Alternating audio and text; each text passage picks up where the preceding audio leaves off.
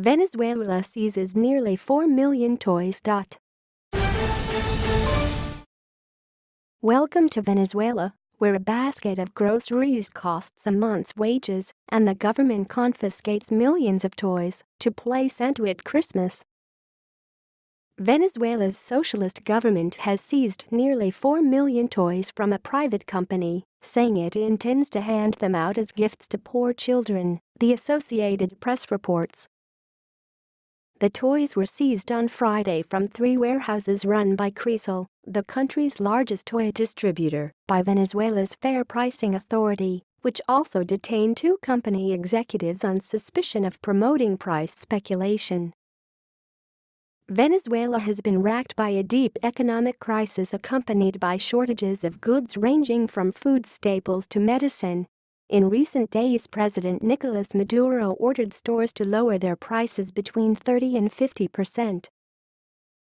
Economists have blamed the disaster on the country's strict price controls, introduced in 2003, and a heavy reliance on oil revenue Pricing Agency Director William Contreras alleged that Kreisel underreported its inventory in order to sell some toys at higher prices.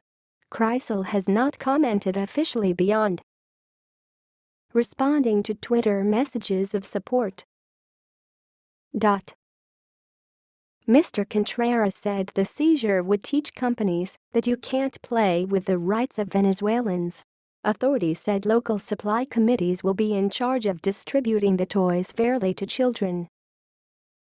Federico Fuentes, a member of the National Executive of Australia's Socialist Alliance and coordinator of the Australia-Venezuela Solidarity Network, said the crisis in Venezuela today was not a situation that can be explained by the errors of socialist policies or too much socialism, but actually the opposite. There continues to be a lot of capitalism in Venezuela, he said. The problem is the influence of the private sector in the economy and the inability of the government to counteract that and deal with some of the offensive that's being waged against it. Mr. Fuentes said private companies over the past 15 years had launched a political offensive to sabotage the government.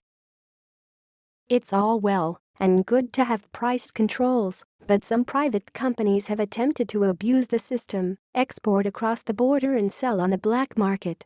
The government hasn't been able to police it.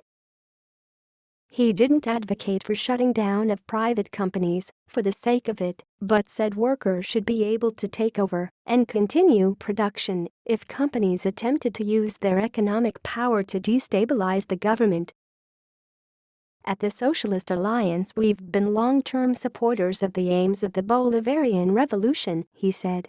But there is no doubt there have been a lot of errors.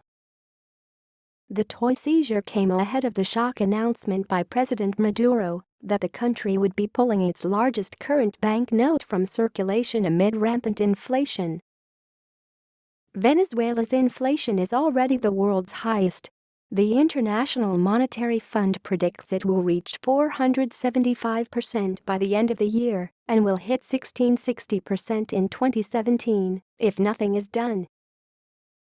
During a televised address, he announced the 100 bolivar note, worth about 3 Australian cents, would be removed from circulation by Wednesday to combat smuggling the 100 Bolivar note is the most widely used and represents half the paper cash in circulation.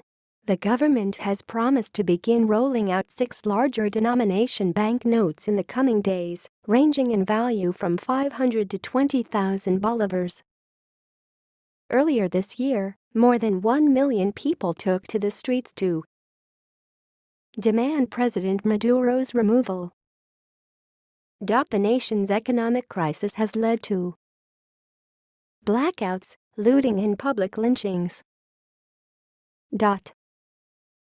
Some middle-class Venezuelans have liquidated their life savings to stockpile food. In desperate trips across the long-closed border with Colombia, while food is starting to reappear on supermarket shelves, prices have skyrocketed after the government quietly stopped enforcing price controls in some border towns. CNN reported Dot. The current minimum wage in Venezuela is 65,000 bolivars a month, or around $73. One bag of cornmeal and a dozen eggs at current prices can take up 8% of a worker's monthly pay. With AP.